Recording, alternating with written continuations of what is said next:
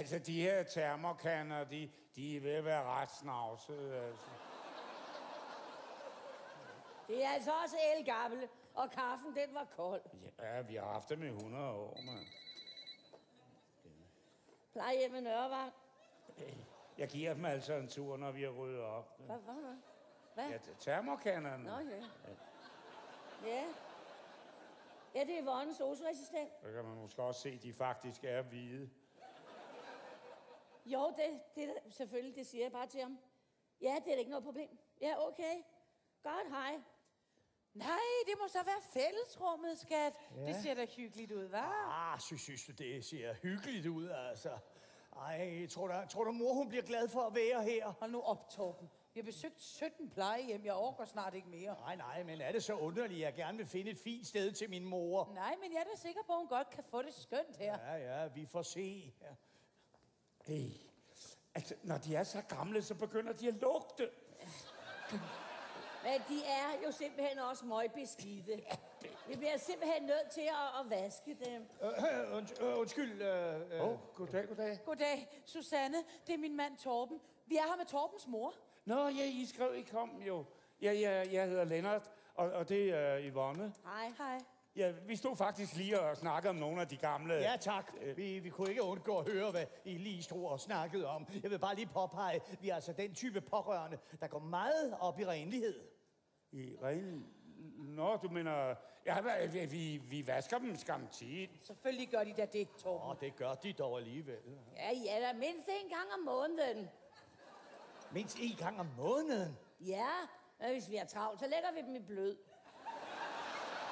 Oh, undskyld, øh, lægger dem i blød. Ja, i sådan et dejligt varmt kappad, ikke sandt? Jo, det kan man godt kalde. Altså, vi har sådan en stor balje ude i køkkenet. Så, ja, godt med klorin i, ikke? Og så er bare ned med dem alle sammen. Så bliver de så gode som nye.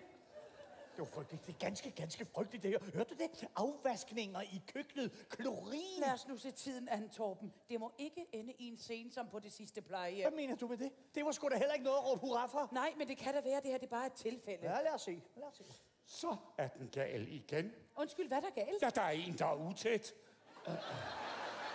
Undskyld, øh, hvad, hvad mener du med utæt? Vi kender I ikke det bedst, når man sidder og skænker kaffe op. Så regner det ud af den anden ende.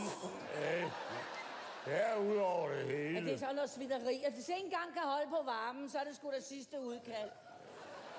Undskyld, jeg føler lige trang til at markere mig igen. Jeg, jeg er dybt rystet, det må jeg sige. Det må jeg sige. Det er vel jeres job at pleje og passe. Ja, det, ja, det er sgu da også det, vi gør. Ja, det er jo det, de er uddannet til, Torben. Ja, men de er jo tusse gamle, og de dufter ikke lige frem af violer. Så bliver man altså nødt til at bruge noget knofedt. Åh oh, ja, oh, ja så, kunne man, så kunne man måske vælge at tage dem med ud i den friske luft. Det er sjovt, du siger det. Jeg har lige haft et par stykker med i skoven. Nej, det lyder da hyggeligt, hva' Torben? En skovtur. Ja, ja, men så glemte han altså at tage dem med hjem igen. Glemte han dem? Ja, de er kommet tilbage. Der var en, der havde fundet dem i en busk. Fundet dem i en busk? Ja, ja, jeg har sådan et trick. Jeg skriver på dem med spritus. Tilhører plejecenter Nørrevang.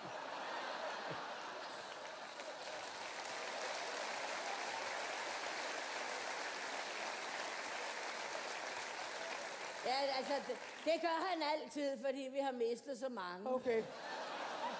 Det kan man da ikke. Jo, jo. Det skal bare være vandfast. Ej, kender I ikke også det, når I sådan står og siver? Står de og siver? Ja, ja. Så får de sådan et dask på låget, ikke? Så hører vi ikke en lyd mere. Det slår dem. Det her, det var dråben. Det var absolut dråben. Jeg er så forarvet. Hallo, Så, hallo, hallo, tag det roligt. Der er da ingen grund til at blive så ophidset. Det her kommer din mor slet ikke til at opleve. Nå, øh, hvad, hvad mener du? Jamen, jeg vil skyde på. Inden for en måned, så er de alle sammen røget på vestforbrændingen.